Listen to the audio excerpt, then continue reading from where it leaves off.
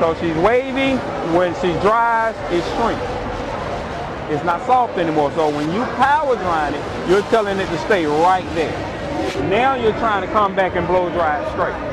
Now, when it's damp, when it's easily manipulated, you go in there and you blow dry. You blow dry smooth cuticle.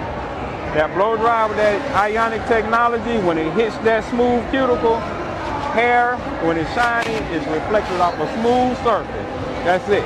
If it's a rough surface, it ain't gonna shine. I don't care if it's the floor, your whatever. So you get that cuticle smooth, you got that nice internal shine.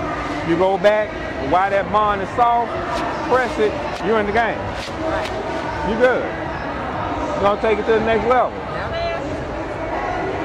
You're gonna take it to the next level.